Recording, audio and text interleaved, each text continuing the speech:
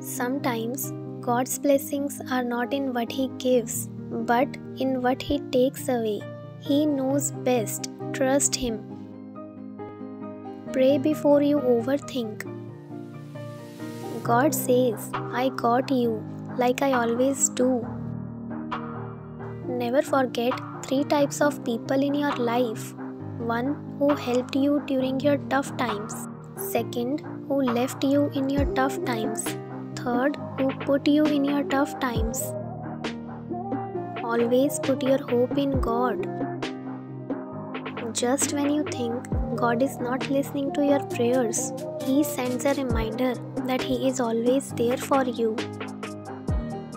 In your struggle, don't trust what you see, trust what God said. His promise never fails. Listen to God's word in your heart. Trust God's power in your life. Type yes if you trust God.